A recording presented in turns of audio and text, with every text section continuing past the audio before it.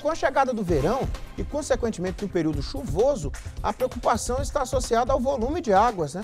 Apesar da trégua que as chuvas deram na região, ainda há previsão de temporais na cabeceira do Rio Doce.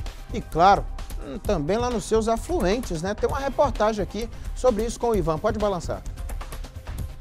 No início deste mês, o INMET, Instituto Nacional de Meteorologia, divulgou uma previsão que afirmava que as chuvas em janeiro ficariam abaixo da média histórica em grande parte da região sudeste do Brasil.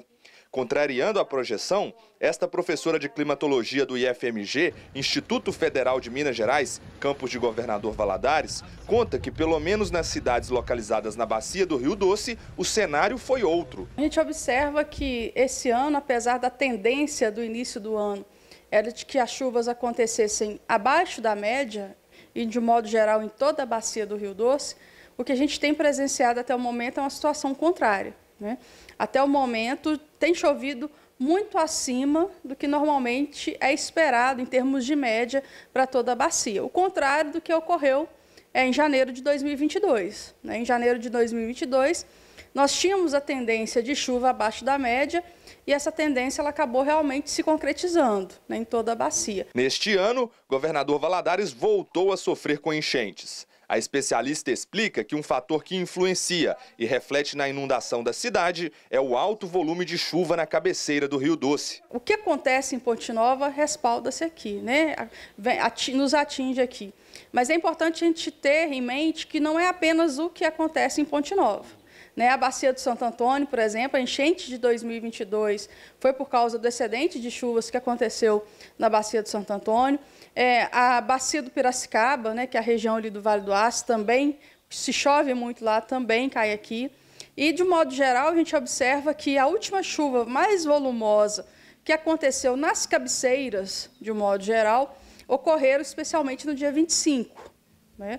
E a tendência também para as cabeceiras é que as, as chuvas elas também continuem, mas nesse mesmo formato previsto aqui para Valadares. Né? As chuvas de trovoadas, pancadas de forma isolada, e não, até o momento não tem previsão de essas chuvas ocorrerem em grande volume. O leste mineiro foi a terceira região do estado que mais choveu em janeiro. Foram registrados aproximadamente 214 milímetros de chuva, sendo que a expectativa inicial era de 160 milímetros no total.